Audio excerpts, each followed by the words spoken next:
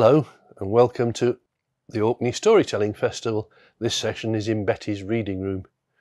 You may be wondering why it's called Betty's Reading Room.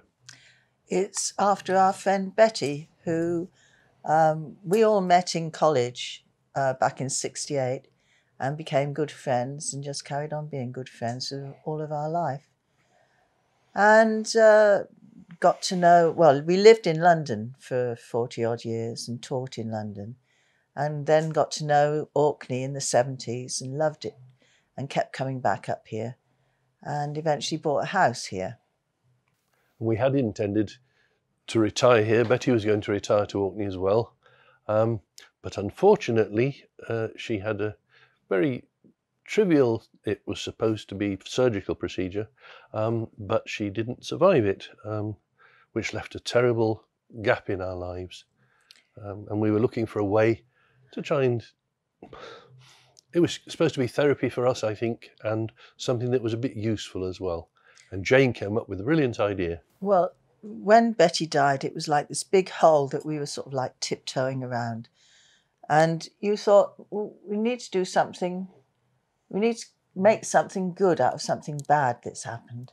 And we thought the best thing to do would be to set up a reading room because we knew the reading room in Southwold, the sailors' reading room, and Betty absolutely loved books.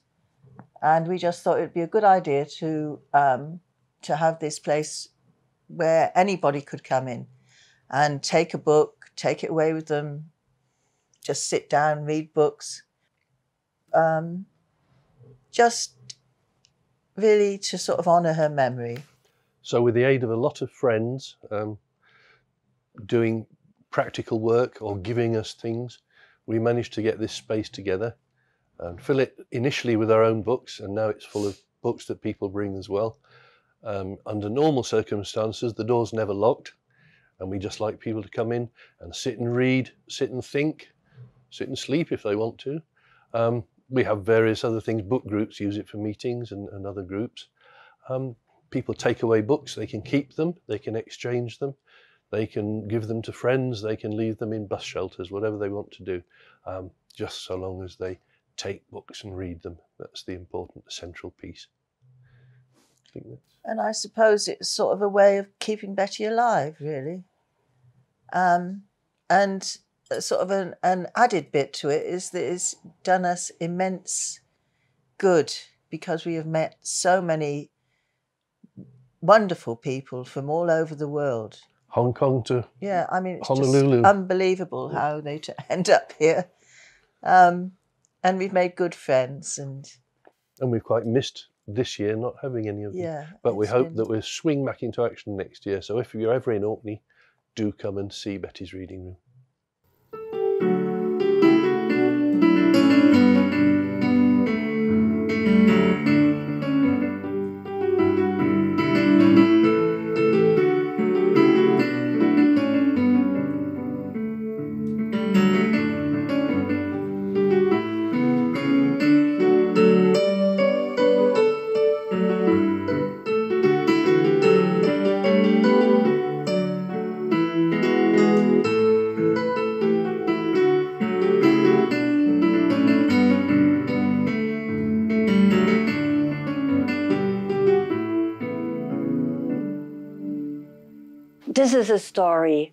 That's very close to my heart.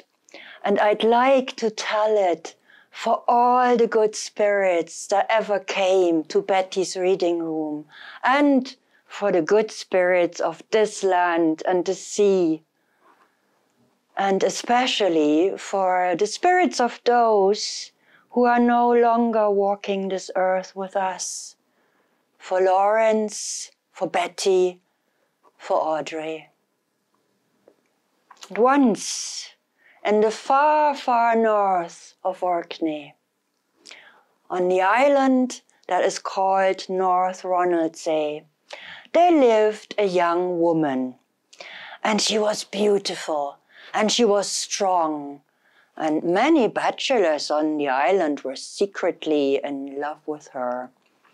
But she had no time for them. She was always busy. Early in the morning before sunrise, she was out working with her two brothers in the fields. She helped her father with the fishing and her mother in the house. And every night, at the same time, she had the food ready on the table for the whole family. But one day, there was no food on the table. The pot with the tatties, the potatoes, just stood by the fire. The tatties were not boiled, there was no water in the pot, and she wasn't there.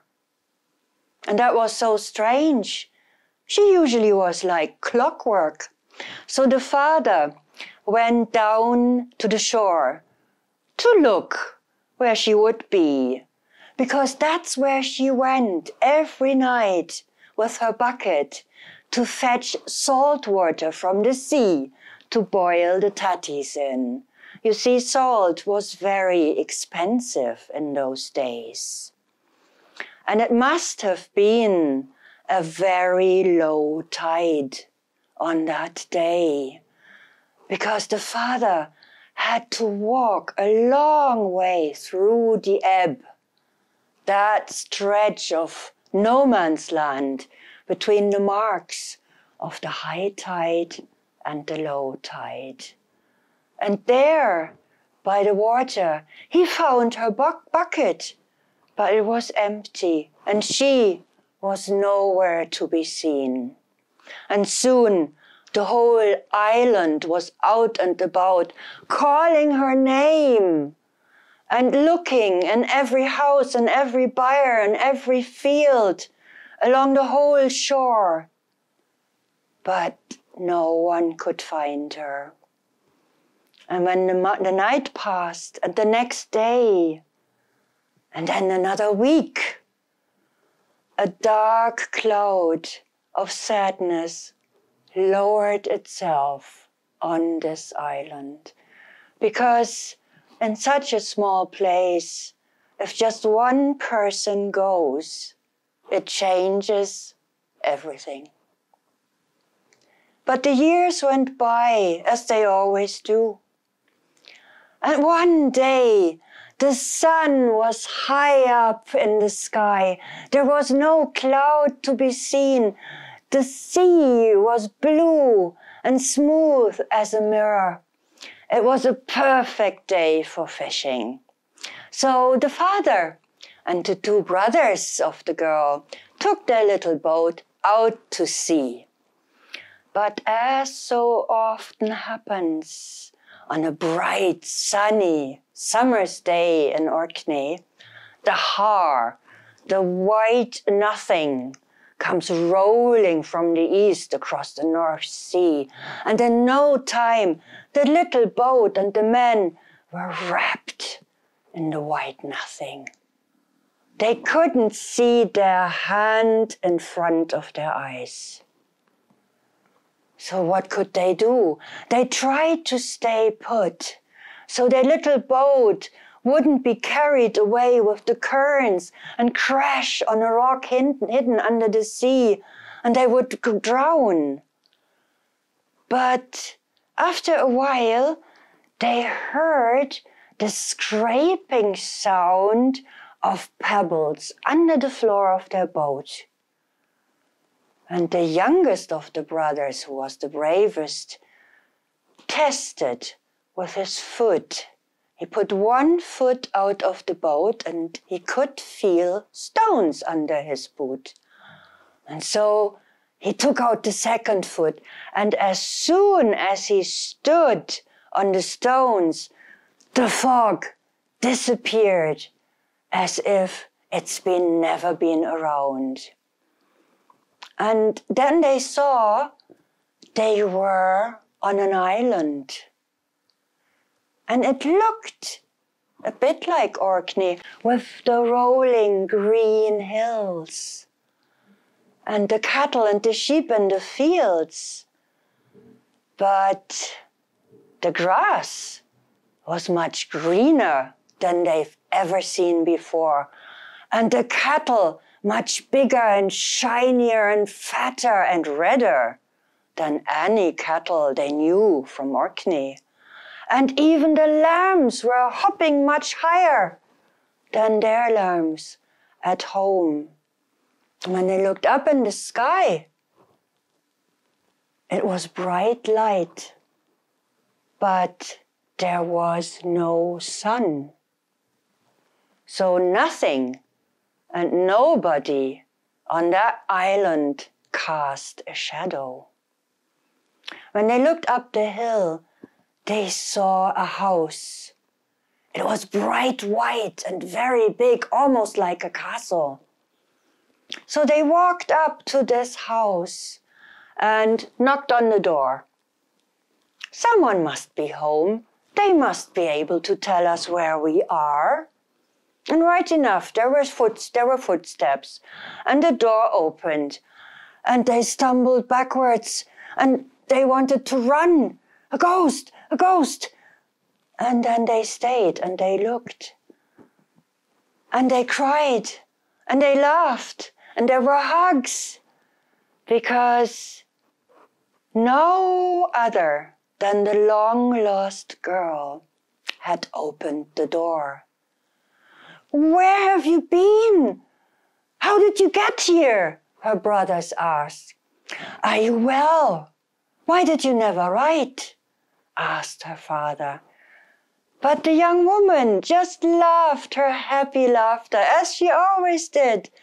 And she didn't look a day older than on these on this day many many years ago when she had disappeared. Come in, she said. Come and sit down. The food is nearly ready. I'm just waiting for my husband and his brother to come home. Oh, she has a husband. So they sat for a while and they talked about this and they talked about that when suddenly there was a strange smell in the air. It smelled a bit like fish although no fish was cooking. And then the door burst open and a big ball of Simmons of twisted heather ropes rolled in, unraveled, and disappeared to the back of the house. And soon after that, a tall, handsome man came in, wrapped in a black cloak. And that was the woman's brother in law. So they sat and talked again about this and about that when the door burst open a second time and another ball of Simmons rolled in, unraveled, and disappeared to the Ben end out of the back door. And then another tall, handsome man walked in huddled in a black cloak. And that was the husband of the young woman. And now it was time to eat. But while they were eating, the brothers and the fathers exchanged glances because they had seen in whose company they were. Finn folk. the Finnmen, they hide their fins under their black cloaks. And when you see their hands, there are webs between their fingers. And Finnmen and the Finnfolk, they live in crystal palaces under the waves in the winter. But in the summer, they live on islands that no human can see. And the Finnmen, they like human wives because you see, when they marry a mermaid, that poor mermaid ages within seven years and gets old and wrinkly. Marriage does the mermaid no good. The father and the brothers became restless. They wanted to go home. So the father turned to his daughter and said, Let's go, let's go home. Mother, mother will be so happy to see you again. But the woman said, No. Even if I could, I would not come with you. Look around, how happy I am here with my husband and the beautiful cattle and sheep all around us. But you, you can always come and visit us. And she gave him a beautiful ivory knife with strange patterns carved into the ivory, patterns that no human being had seen before. Now, don't lose that knife. It's like a compass. It will always guide you back to where I am.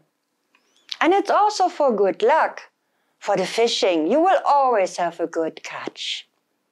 So they walked back to their little boat and pushed it off the island. And as soon as the boat was out in the sea, the white fog came back and pushed them with soft fingers quickly, quickly back to their home island of North Ronaldsay. And when they came back to the house, the mother was already waiting, and they had such wonderful news for her. Oh, you don't know who we met. And then the father reached into his pocket to show her the knife, but it wasn't there. And it wasn't in the other pocket, and it wasn't in the boat, and it wasn't on the path between the boat and the house. They never found that knife again. But now at least they knew that their daughter and sister was happy and healthy in the place where she lived. And the next time you come back to Orkney, go to the cliffs in the west and look across the Atlantic and find the spot where the sun sinks into the sea on a summer's evening. And only if you're lucky, you can see that island. And it's floating upside down just above the horizon. And it is called Heather Blether.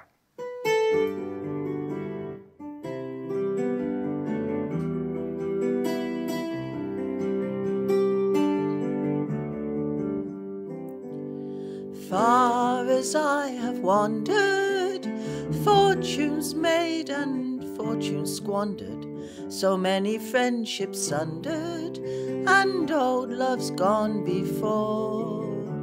Still, I find me yearning for that light by the high farms turning, where a lantern's burning for Michael on the moor.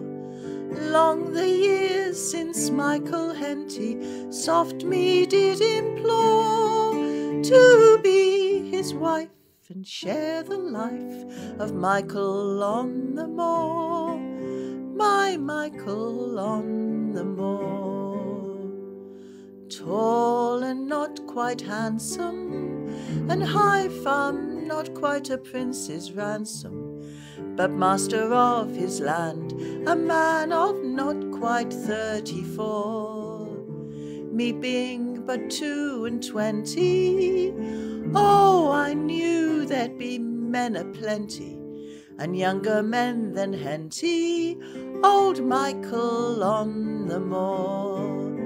Long the years that I have travelled, men I've known full score, and never yet a better met than Michael on the moor, young Michael on the moor.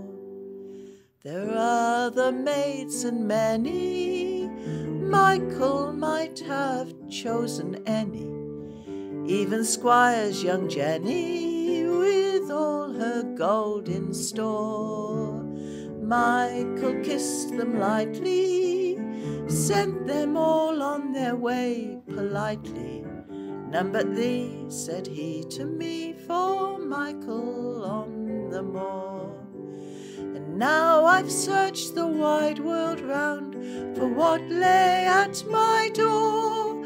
I rue the day turned away from Michael on the moor, sweet Michael on the moor.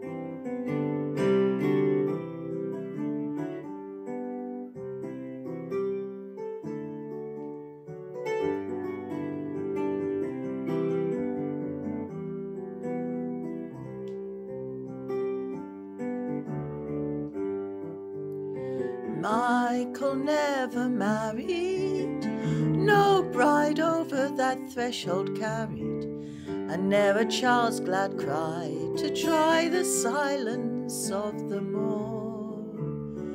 Michael died last summer, and High Farm sold on to some incomer. A stranger now behind the plough of Michael on the moor.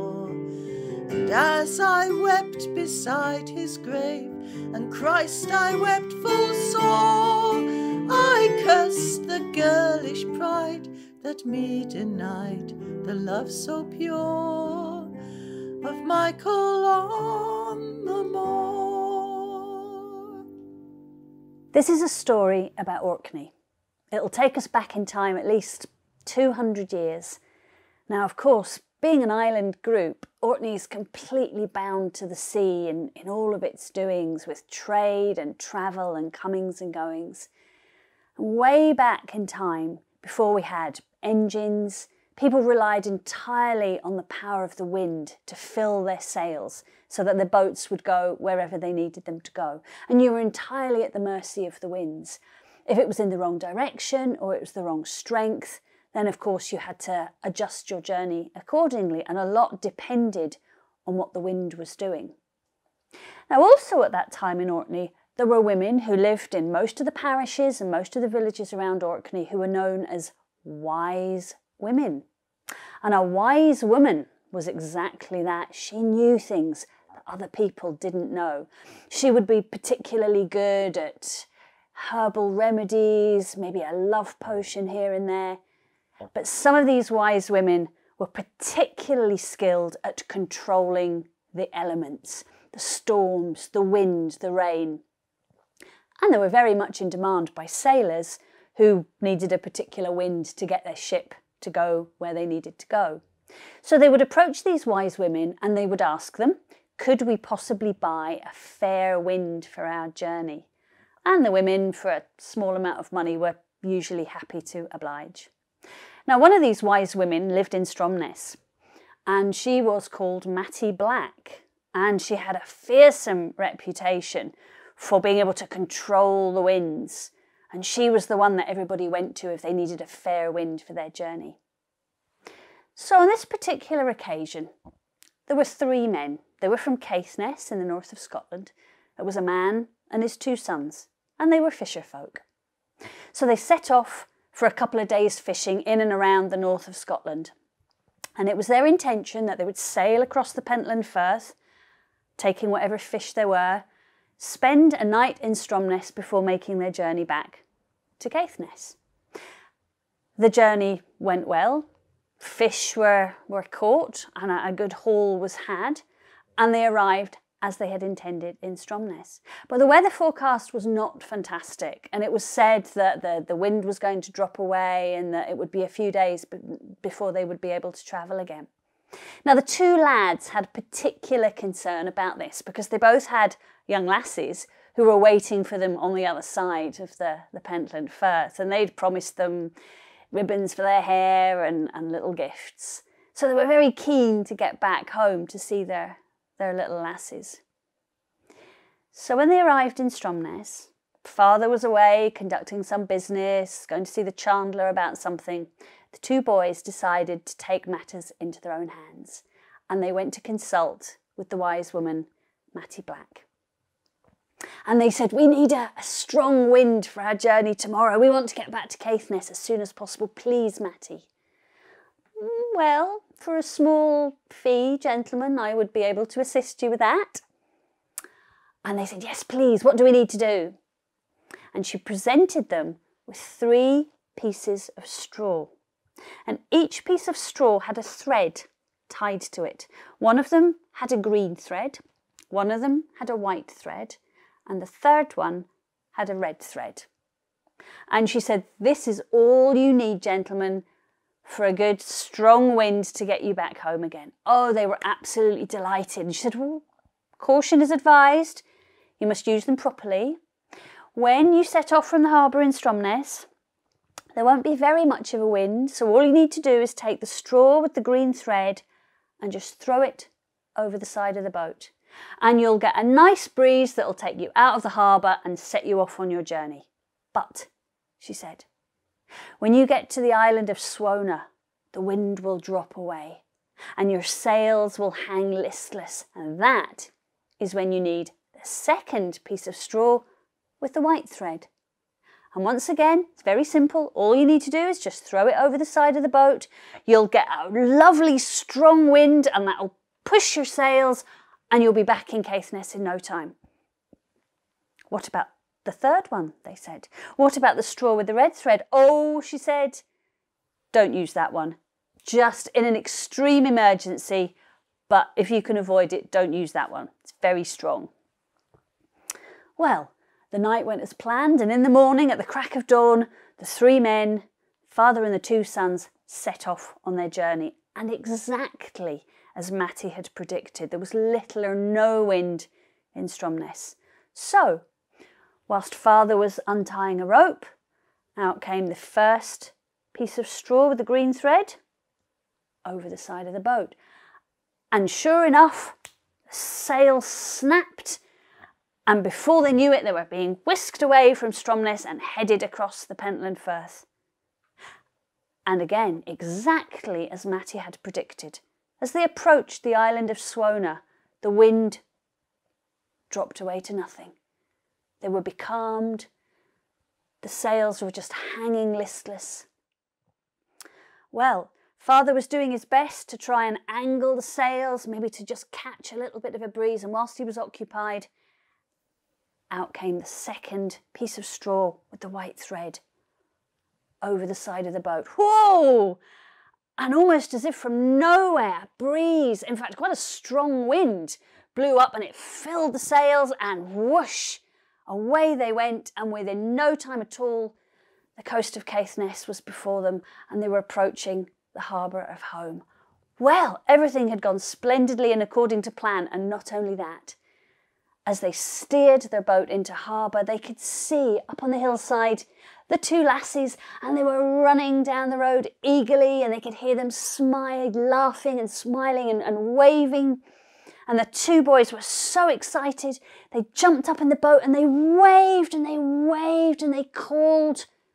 And as they jumped up and down in the boat, the third piece of straw with the red thread fell to the bottom of the boat.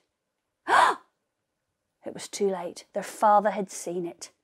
And he picked it up and he, he knew, he knew exactly what he was looking at. And he said, I cannot believe my two sons that I've brought up to be God fearing and Bible reading, that you would disgrace me in such a way as to consort with these, these women.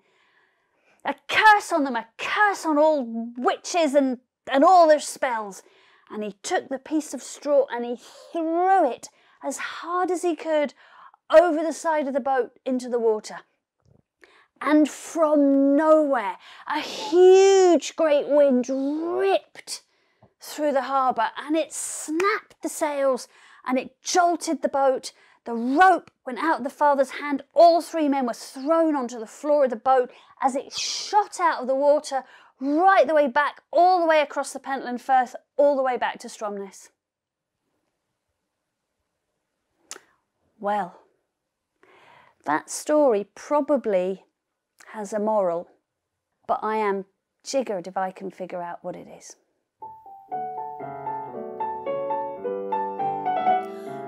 I lay in bed all lang this morning, heedless of me mother's scorning, turned and twisted all last night, and never closed an ee, while outside a million stars were winking. Sleep it wouldna come for thinking, oh, the three small loving words my Willie said to me. Willie's tall and Willie's bonny, Willie has nae muckle money. No, the siller matters when I ken I loe him weel. Still, I think I'd better tarry, bide a wee afore I marry. No, to Willie catches mair than partons in his creel.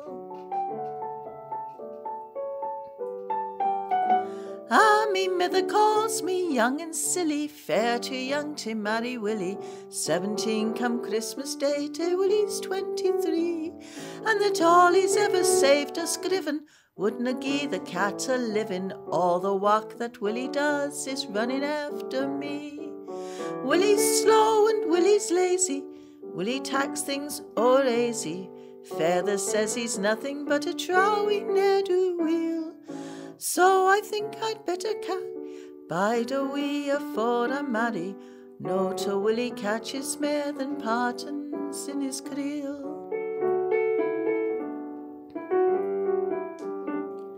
There's a peaty croft among the heather, why he says we'll bide together, while he makes a living wi' his boatie on his sea. There's a peaty goosey's the bigot, stoutly thatched and snugly rigged, waiting to be taken o'er by Willie and by me.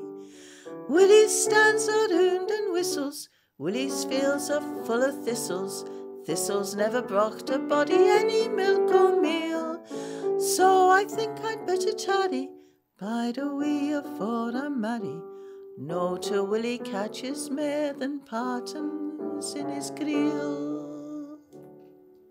Now, near to where I'm sitting here in Betty's, there is an island called Gairsay, and a man used to live there called Harold.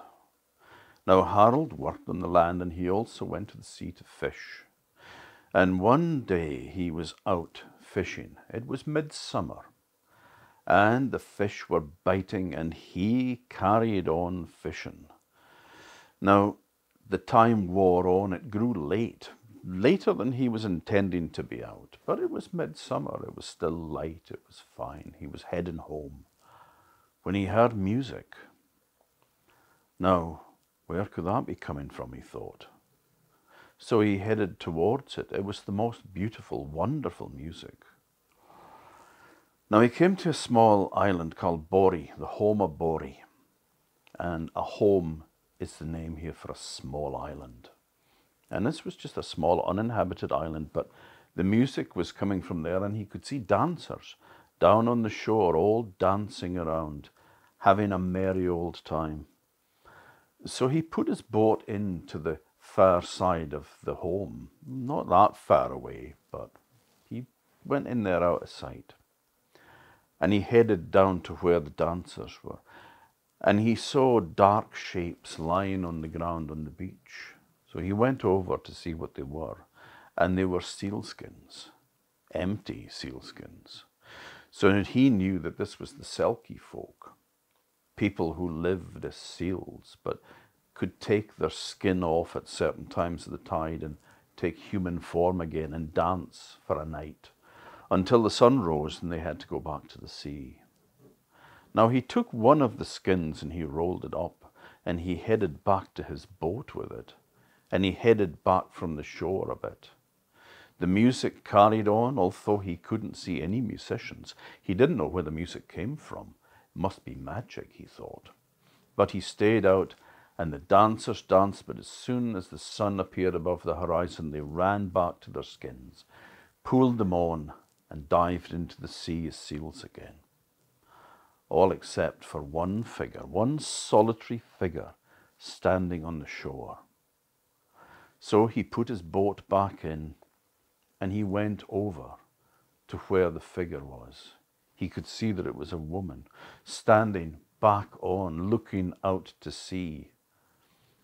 He came up closer to her, and the woman turned around and he gazed into a pair of eyes that he knew well but never expected to see again. Hello, son, she said. Mother, but how, how can this be you? You're dead. You've been dead for years. You drowned. I know, son, she said. But it is the fate of those who drowned to become selkies. And I live in the sea, but I can come ashore once a month when we have the dancing night. But give me back my skin, son. Let me go back to the sea. No, mother, he said. No, I can't do that. No, I lost you once. I don't want to lose you again. Son, she said, I have to return.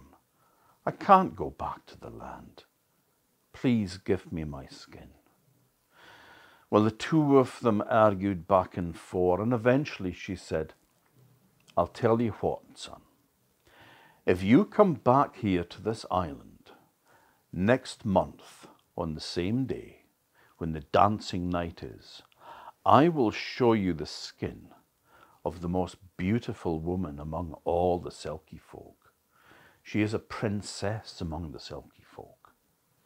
I'll show you her skin, and you will have her as your wife. As long as you keep that skin, she can't go back to the sea. She is tied to you. He agreed, and sadly he handed the skin back to his mother, and his mother went down to the shore, slipped the skin back on, and dived into the water as a seal and swam away. Now a month passed, and he came back to the island. He could hear the same beautiful music being played, and he put his boat onto the other side of the island where it was out of sight, and he carefully walked along the shore. His mother broke away from the rest of the dancers and walked over towards him, and then she bent down and she placed her hand on a skin, and then she turned around and walked away. He went over to where the skin was and he picked it up, rolled it up, he took it into his boat, and he headed back towards Gairsay. Now he hid the skin where the woman would never find it. And then he returned to the island. And he could hear the music, but then it stopped. And all the Selkie folk went back to their skins, went back to the sea, all except for one woman. One beautiful young woman was searching frantically for her skin. And the man saw her, went over to her, fell in love with her. She was so beautiful. I have your skin, he said. Please give it back, she said. No, I can't do that. You must come and live with me and be my wife. Well, she wept and she pleaded, but he refused to give her back her skin, and so she went back to Gairsay with him. Now, Harold was a good man. He was kind, he was considerate. And soon the Selkie woman, she fell in love with him too, and the two of them were married. And they had several children, and they were very happy together. But there was a sadness on the woman and every night on the dancing night, once a month, she took ill and she seemed to be wasting away. It was as though the Selkie folk's song was drawing the life force from her. Now she grew weaker and weaker, and she said to her husband, I know that I have lived for a long time in the sea and my father was a king, and, and we had gods. We had Odin and Thor and beautiful Freya. But you talk of a, a God that you worship and a life everlasting after death. And I would like to take that religion of yours because I feel that my life is drawing to an end and I don't want to be parted with you forever. I want us to be able to be together again. So Harold went and he fetched a priest and he had his wife christened. Now she grew weaker and weaker every night of the dancing night, the song of the Selkies drew the life force from her. And the one day she said to her husband, Tonight is the dancing night, and tonight is the night that I shall die. I don't know whether or not the ritual that your priest performed had any effect on me. I only can find out if you take me back to the island tonight. Wrap me in my sealskin and put me on the shore. And if it didn't work, then they will have the power to take me away. But if it has worked, then they won't be able to take me. And I will know then that me and you will be reunited one day. So Sadly, he wrapped up his wife in her sealskin and he carried her down to the boat. He laid her in the bow and he rowed back over to the island. He carried her and placed her down on the shore. And then he went back to his boat and he rowed away out of sight. But he sat there all that night in the boat, the tears dropping onto the bottom of that boat.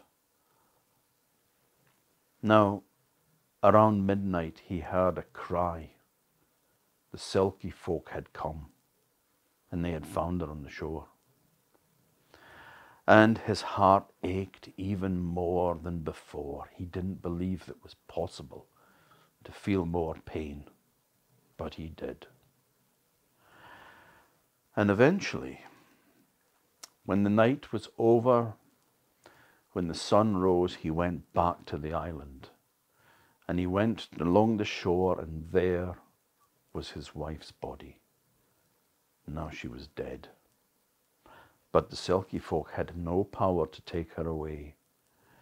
And on her face there was a smile, a smile of contentment, a smile that seemed to say to Harold, We are parted now but it will not be forever.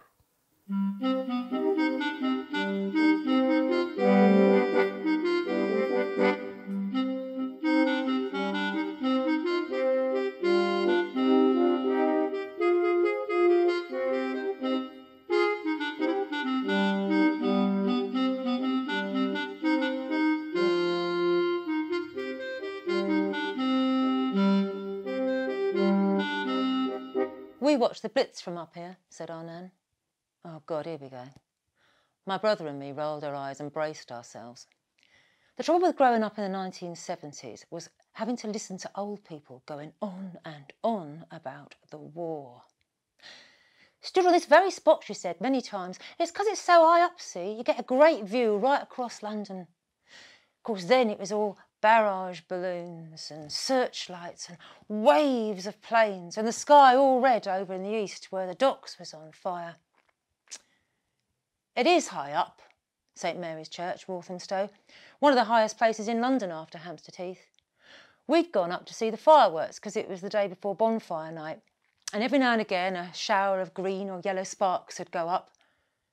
But Nan was remembering much deadlier explosions from 30 odd years before winter 1940, and the worst of the Blitz.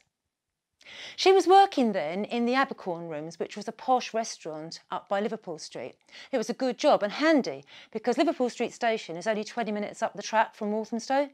She did the lunchtime shift, which meant she could be home for my dad at tea time. Now, you're probably thinking, hang on, all the kids was evacuated out of London during the Blitz. And you'd be right. Right at the start, they were all packed off with their gas masks and little brown paper labels pinned to their coats. But then nothing happened for ages. and loads of them came back. My dad came back from Glasgow. He was very small, very bullied, and very homesick. Walter Plant, who lived up in the top flat, he never even went. He was too frightened, and his mum said he was too delicate, so she didn't let him go. The other kids said he was a weed, not a plant. Alfred Greenwood nicknamed him Weedy Walter. Alfie Greenwood. He ran away to come back. The Greenwoods lived just across the road and down a bit from Manam. Alfie was evacuated to a farm somewhere and he hated it, even though the farmer was lovely and gave Alfie a sheepdog puppy and everything. But Alfie's dad was missing in a POW camp somewhere. And Alfie knew that his sick granddad and his mum and his twin baby sisters needed him at the age of 11 to man up and come back and be the man of the house. So one morning he put the puppy, who he'd called Spitfire, in his coat pocket and hopped on the milk train and came home. So on this particular afternoon, there they all were, Alfie Greenwood and my dad and Weedy Walter and a whole bunch of other boys, all playing on the big square tombstones just beside the church porch. The rest of the graveyard is fenced off, but those two big tombstones have stood there for two, three hundred years, their names and dates gradually wearing off by generations of kids playing on them. They were playing Escape the vicar had put an absolute ban on them digging any more tunnels after an unfortunate incident with some old bones. So now they were going over the imaginary fence of their imaginary camp. And Alfie was being the camp commandant. He had a, an old torch he'd nicked from his granddad and he was flashing it round like a searchlight. And the puppy, Spitfire, was barking and jumping all over him like a, like a, a Rottweiler in training. And just then Manan came along. Alfie Greenwood, you get down off there at once. She was five foot nothing with her shoes on, my Nan, but she was pretty scary when she was cross, and just then she was cross. You put that torch out, she shouted. Haven't you heard of the blackout? Get down here right now. And then she saw my dad, Gerald, and she hoiked him out by the ear from the crowd of little kids. Alfie, she said, you are the oldest and you are supposed to be setting a good example. Ain't you know there's a raid started? She said, now you make sure these little ones get home. And then get home yourself. Your poor mum, she said, she's got enough on her plate. So Alfie rounded up all the little kids and the dog and set off up the hill. And my nan grabbed Walter by the ear with one hand and my dad by the ear with the other and frog marched them off down the hill home.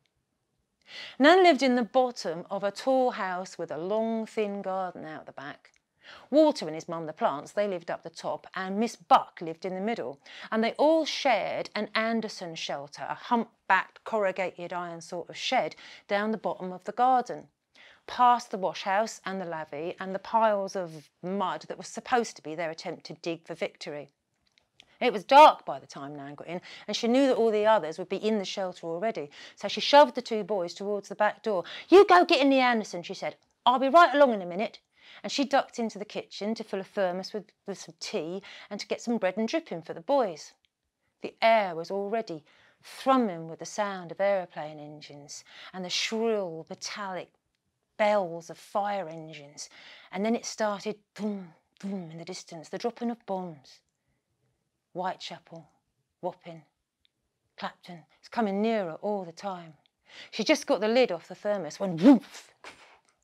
That was closer.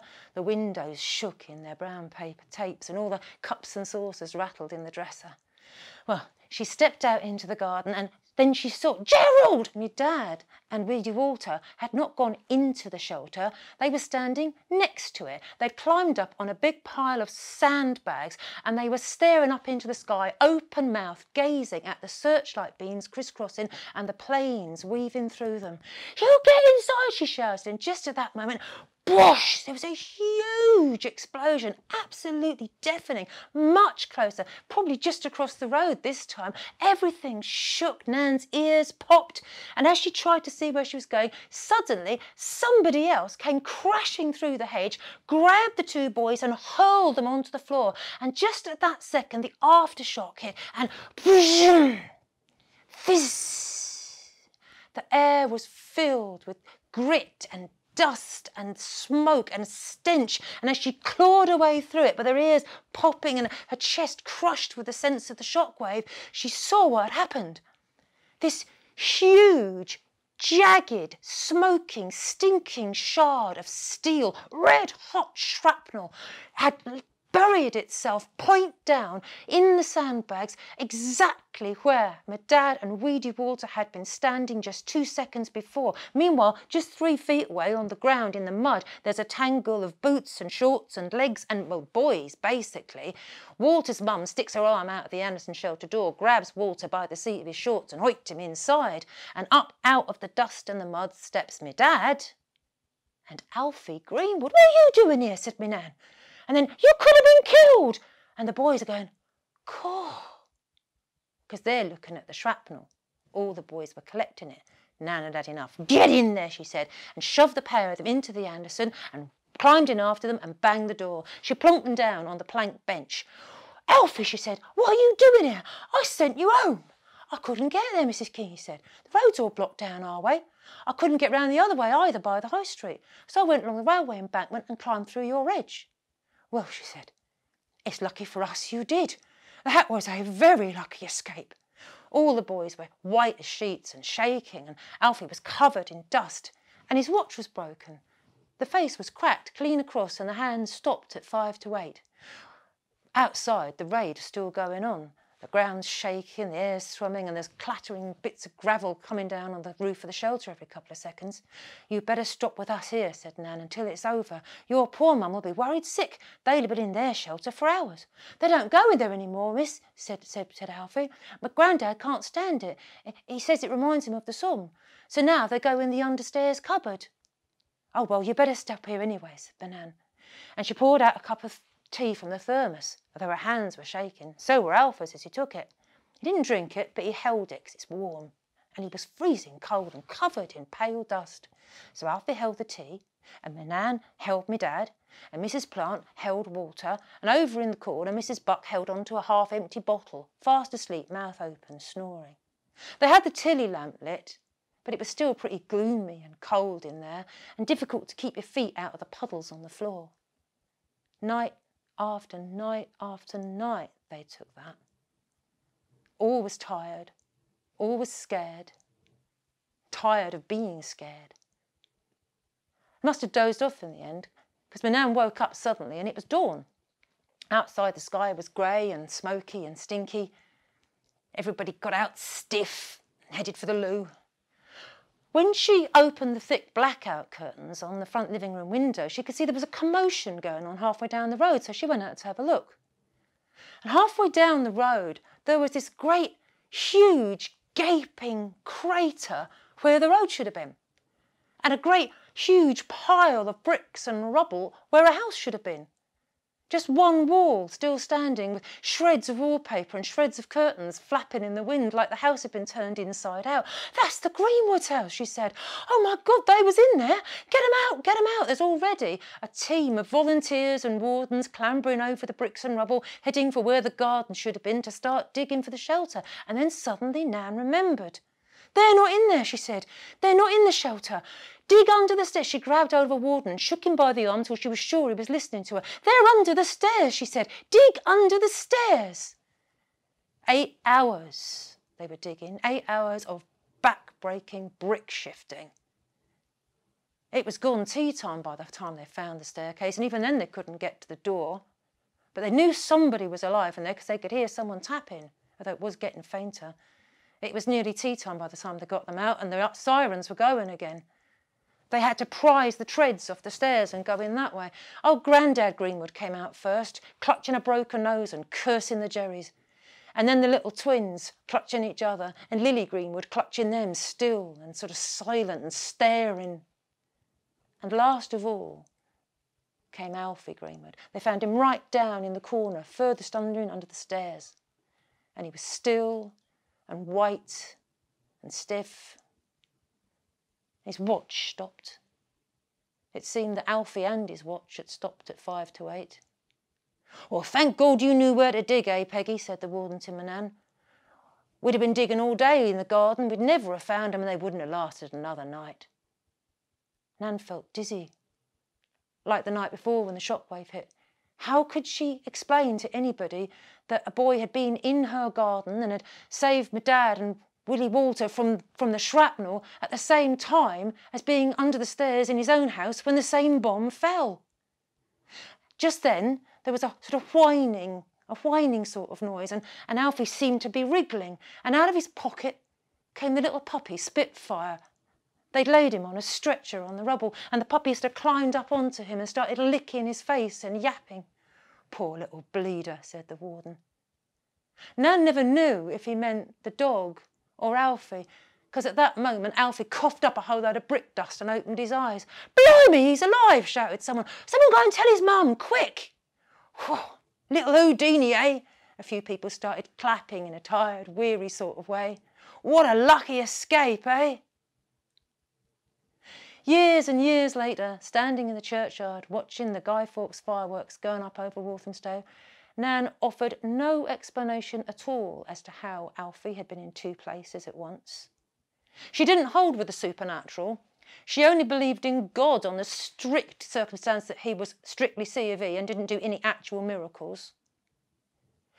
He saved six lives that night, she said, if you count them up. A lot of crazy things happen in a war, said Nan. Well, war is crazy, isn't it? And you can't argue with that.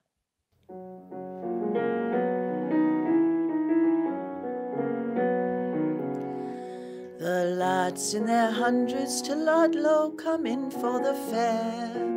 There's lads from the barn and the forge and the mill and the fold. The lads for the girls and the lads for the liquor. And there, and there with the rest are the lads who will never be old. There's chaps from the town and the field and the till and the cart. And many to count are the stalwart, and many the brave, and many the handsome of face and the handsome of heart, and few that will carry their looks or their truth to the grave. I wish one could know them, I wish there were tokens to tell. Those fortunate fellows that now one can never discern and that one could talk with them friendly and wish them farewell, and watch them depart on the road that they will not return.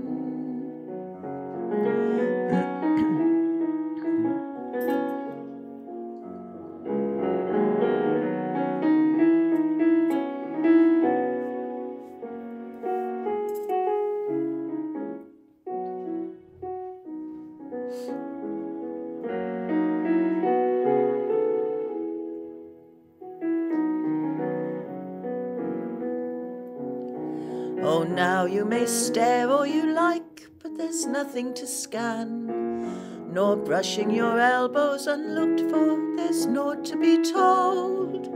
They carry back bright to the coiner the mintage of man. Those lads who will die in their glory and will never be old. The lads in their hundreds to Ludlow come in for the fair. There's lads from the barn and the forge and the mill and the fold. The lads for the girls and the lads for the liquor.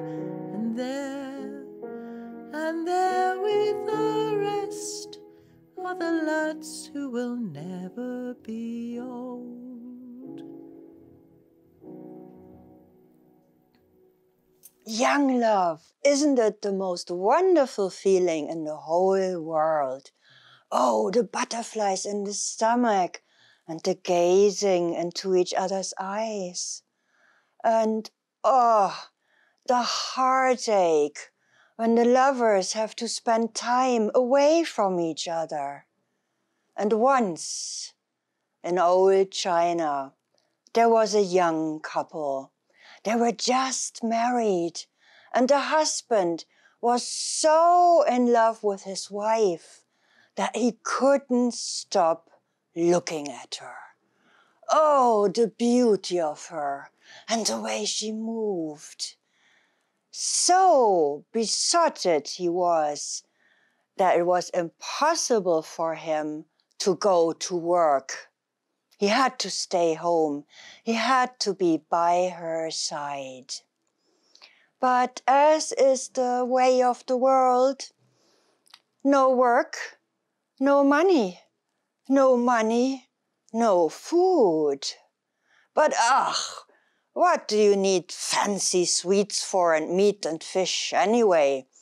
And also, the wife had brought a good dowry to the marriage.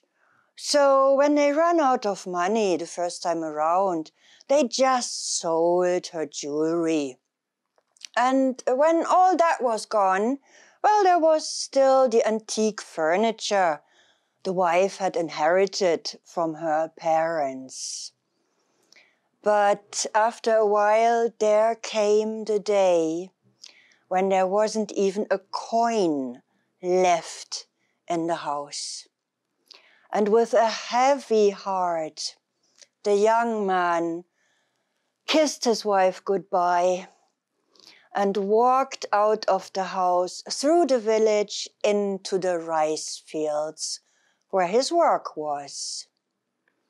But while he was walking, his steps got slower and slower, and his mind was whirling from the thoughts and the worries that plagued him. What if my beautiful wife goes out in the garden and people from the village walk by and they can see her and they look at her. Or worse still, if there's a man, a stranger, a wanderer, who looks at her, and then she will look at him, and they might go away together and leave me all by myself. So sad he became that he didn't even notice that he wasn't alone. Next to him, there was an old man walking. He wasn't very tall. He maybe reached up to the young man's shoulder, and he had a long white beard and piercing green eyes. And he spoke to the young man. You know, you look so, so unhappy. I think I have something that will help you. How do you know that? said the young man. Ugh, I know a lot of things, the old man said. And he got out of his pocket a small bottle. Here, young man, take this bottle and all your worries will be over. What? How? Well, just do as you're told. In the morning, before you say goodbye to your wife, just look at her and then blow over the bottle like this. And in the evening, you just do the same and I promise you, all will be fine. Here, have this bottle. I give it to you for free. Well, it was worth a try. So the next morning, the man, the young man, said, did how he was, what he was told. He got up, he looked at his wife, he took the bottle, and he blew over it. And then something strange happened. The wife got smaller and smaller and smaller until she was so small that she was in the bottle. And the man put the bottle in his pocket and went to work. And that was wonderful. For weeks and weeks and weeks, he could take his wife with him, and they were not apart from each other. But one evening, when they got home and she had stepped out of the bottle, she looked very grumpy. What's wrong? the husband asked. What's wrong? Just look around in this house. Every time we get home, it is dark and none of the housework is done. The dust is dancing around our noses. Haven't you noticed? There is no clean dish left anymore. And the piles of washing, the dirty laundry, it's just everywhere. Because you see, in those days, the only way to wash the laundry was to go to the village pond. And you can't do this after dark. It's not possible. So, with a heavy heart, the husband had to give his wife a day off to do the washing. And sad and downcast, he went to work on that day. But she was busy.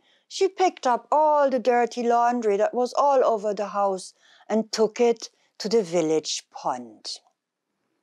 And as you do before you put your washing in the water, you check every pocket to see if there's something in there that shouldn't get wet. And when she picked up an old minging coat of her husband's, she felt something hard in the pocket. It was the bottle. That stupid bottle she hated more from day to day. The bottle she had to sit in every day, all day. And in the first instance, she felt like flinging it as far as possible into the village pond. But then she thought, oh, how would I explain this to my husband? And while she stood by the water with the bottle in her hand, there was a movement at the far end of the pond. There was a bridge crossing the pond, and over that bridge walked a young man. A handsome young man. And the woman took the bottle. She looked at the young man and she blew. And the young man was in the bottle. She finished all her washing but didn't wash the old minging jacket, put the bottle with the young man back in the pocket, and walked home. In the evening, her husband came rushing back from work, and he was glad to see his old stinky jacket still hanging on the, on the hook on the wall. And he felt the pocket. Oh, yes, the bottle was still there. And none of them, not the wife, not the husband, mentioned anything about that jacket or let alone the bottle. The next morning, it was back to business as usual. Look at the wife, blow across the bottle, wife in the bottle, wife in the pocket, off to work. And when they came back that evening, the wife stepped out of the bottle with a big smile on her face. And so the three of them lived many, many, many years very happily. The husband, the wife, and the young man in the bottle. Only sometimes the husband wondered why his wife always came out of the bottle with such a beaming smile on her face.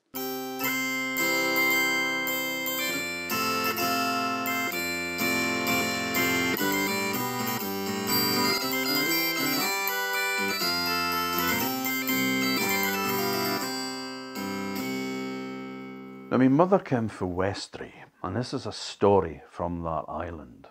And it's a story that I had from her, and uh, it's, it's well known, but it does have a little ending that is personal to my uh, family.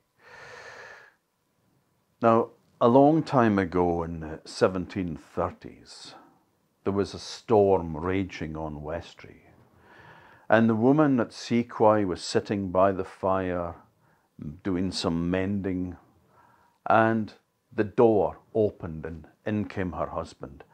And he said, There's a big sailing ship heading towards the rocks. I'm going to go next door and get chalk of wheeling stains, and we're going to go down and see if we can save any of the people on board. Well, be careful, she said. It's no a night to be out on. Oh, I know that, he says. Don't you worry. So he went and got the neighbours, and they went down to the shore, and sure enough, there was a big three masted ship being driven by the wind towards the rocks. Its sails were tattered, one of the masts was broken, and on board the ship there was great panic because all the people on board knew that their time had come. This was the end for most, if not all of them. But there was nothing that they could do to bring that ship under control, to get it away from the rocks. There was nothing that the Westray folk could do to help either. There was no way you could put a boat on that weather. Now, on the boat, on the ship, there was a woman. And people said it was the captain's wife. But how they knew that, well, no one knows who she was really. But there was a woman on board and she had a boy, a wee son. And she took the son and she tied him tight to her with a shawl. And then, just before the ship struck the rocks, she wrapped her arms around the boy and she jumped over the side of the ship into the foaming, raging sea. The rocks tore the side out of the ship and she was broken into matchsticks. Pieces of it was driven ashore. There was nothing that the folk could do to save any of the crew. It was too far out. So after a while they went home. Now when the sun rose the next day, they went back to the shore to collect up anything that they could use. I mean, one person's disaster was another person's good luck in those days. And in an island where there's no wood, no timber, any pieces of wood is valuable. Now, there was also the cargo as well, whatever was washed ashore. And it could be the difference in a time before any social care that could make the difference between an old person or a, a small child or somebody who wasn't well making it through a winter or dying. So they went down to the shore and they were gathering up what they could find pieces of wood, sailcloth, ropes, barrels from the cargo, and every now and again they would find the body of a sailor lying dead on the shore, and they would pull them up to bury them later, give them a decent burial. Now, the man of Sequoia was down there searching as well, and as he walked along the shore, he saw a body lying on the sand. And he went over to it, and it was a woman. And he thought, it's a terrible thing to see. And then he looked closer, and he could see that tied to her breast in a shawl was a baby. Well, he thought that this was a terrible thing. Poor wee soul. But then the baby made a slight cry, and he could see that it was still alive.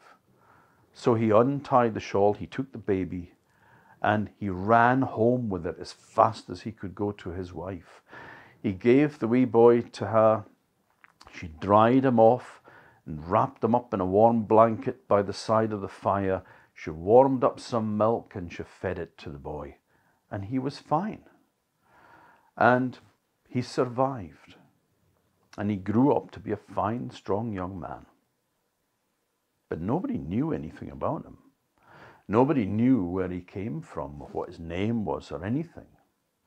The only clue was that there was a piece of wood washed ashore that had writing on it. Now, the man of Sequoia had found this but he couldn't read.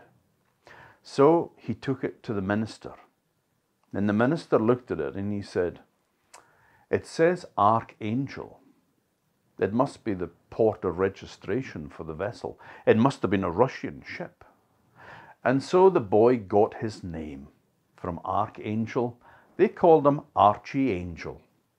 And he grew up, married, and had a family of his own, all called Angel, of course. And there was angels in Westray for over a hundred years, 150 years, that name carried on. Now, there was lots of angels in Westray, and my mother always said that all people from Westray were angels, but I suspect she was biased. But she told me a story that tacks on to the end of that one about my own family.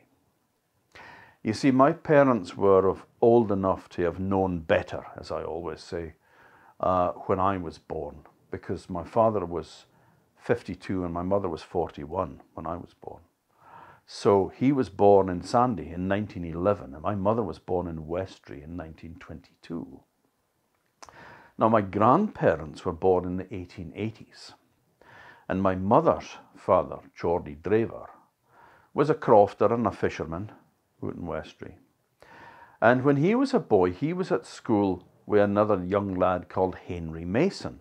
Now, Henry Mason was the son of Mary Angel, and Mary Angel was the last person to bear the name of Angel in Westray. There was a lot of daughters in the family, so the name disappeared.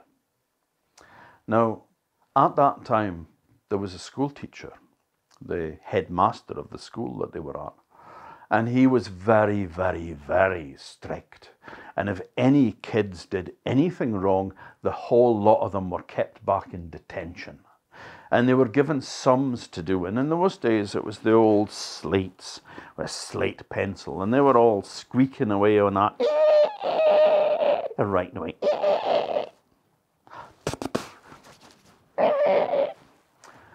And they could hear a mutter, mutter, mutter coming up the close and the door opened and in came Mary Angel. And my mother always described Mary as being a course set like Buddy. I always had this mental picture of her looking like Boris Yeltsin in a headscarf and pinny. But in came Mary and she said, Wash me boy. And the teacher says, Well, they have misbehaved, so they are being kept back. And she said, Well, his tea's ready. And she went to get the boy. Now, the teacher despite being an educated man, made a very, very simple mistake because everybody knows that you do not get between a wild animal and its young. But he stood between her and her son, where she just up with her fist and smacked the teacher, and down he went. But that wasn't enough for Mary. She got him by the scruff of the neck and she beat his head off the floor until she knocked him unconscious, grabbed her boy by the arm, pulled him out the door, slammed the door. Well, the kids were horrified. Oh my God, Mary Angels killed the teacher. What sort of detention will we get for that? They're images of themselves as old men with long flowing beards still doing long division. But one of the braver ones went over and got a wee bit of water and splashed on the teacher's face, and the teacher opened his eyes. And then he said in a rather a feeble voice, he said, Get me a glass of water, boys. So they fetched him a glass of water and he had a drink. And then he said, Class dismissed. Well, they didn't need to take a second telling. They were out that door like a shot. Now, after that, Mary Angel became a bit of a hero with the kids around Skillow in Westray because it was said that after that, uh, the teacher never kept any of the kids back in detention again. Oh, come, all ye jovial women, come listen to my song. It is a little ditty and it won't contain you long. It's of a fair young damsel, oh, she lived down in Kent. Awoke one summer morning and she a nutting went with my fowl diddy row, fowl whack for the dear old day. And what foo that poor girl had, she threw them all away. It's of a brisk young ploughman was a ploughing of his land. He called unto his horses to bid them gently stand. As he sat down upon his plough, all for a song to sing. His voice was so melodious it made the valleys ring. With my furlough, titty row, furlough, whack for the dear old day. And what funes that poor girl had, she threw them all away. She then comes to young Johnny as he sits on his plough. Says she, young man, I really feel I cannot tell you how. He took her to some shady broom and there he laid her down. Says she, young man, I think I feel the world go round and round with my furlough, diddy row, furlough, whack for the dear old day. And what funes that poor girl had, she threw them all away. So come all ye jovial women, this warning by me take. If you should a nut and go, don't stay out too late. For if you should stay too late for to hear the ploughboy sing, you might have a young farmer to nurse up in the spring. With my furlough, diddy row, furlough, whack for the dear old day. And what funes that poor girl had, she threw them all away.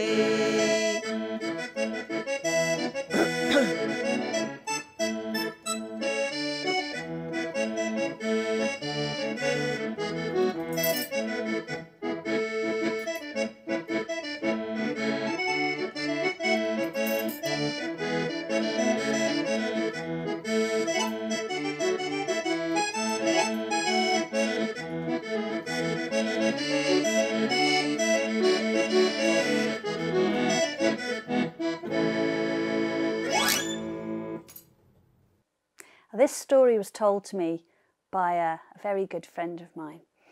And this friend is particularly fond of the old ways, the old days, the old words. And I think if he could have been born a hundred years ago, he would have been very happy indeed. But this is a story he told me. And it's about three old men, three old Orkney men, and they had known each other since they were tiny children, grown up together, went to school together, lived in the same place together, known each other their whole lives, and had been fast friends all that time.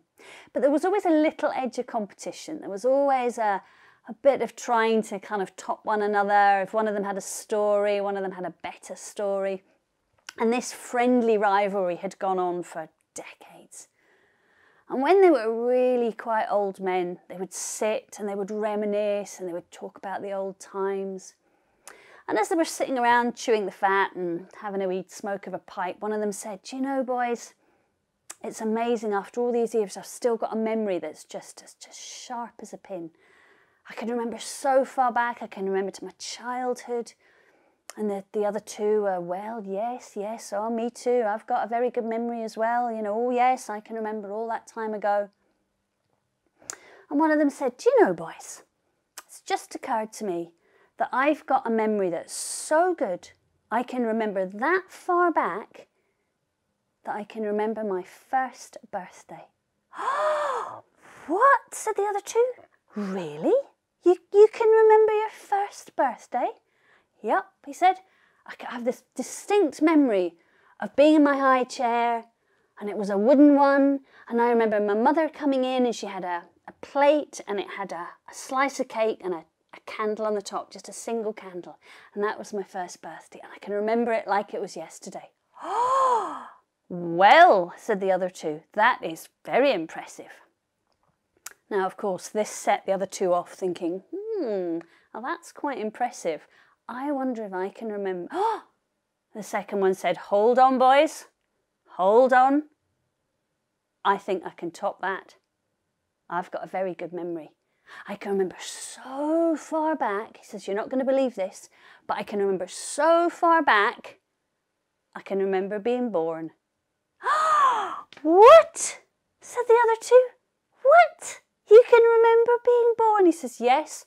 He says, I know you're not going to believe this. He says, but I just have this memory of being in this lovely warm place. And suddenly there was this, this great rush of air. And it was all, it was, uh, suddenly I shot out and he says, and the doctor caught me before I hit the floor. What? said the other two. This is not possible. Surely you can't remember. He says, I swear, I swear, this is absolutely true. Swear to God, I can remember being born. well, very impressive. Hmm. And the three of them sat and had a suck of their pipes, and there was a silence. And then the third one said, Oh, I've got it, boys. I've got it. He says, Two of you, pretty impressive. Being able to remember your first birthday, that's good. Being being able to remember being bored, that's even more impressive. He says, But I've got you. I can remember even further back than that. And the two of the looked at each other and they looked at him and they said, What? What are you talking about, man? And he says, I can, I've got that good a memory. I can remember so far back, I swear to God, that I can remember going to a dance with my father and coming home with my mother.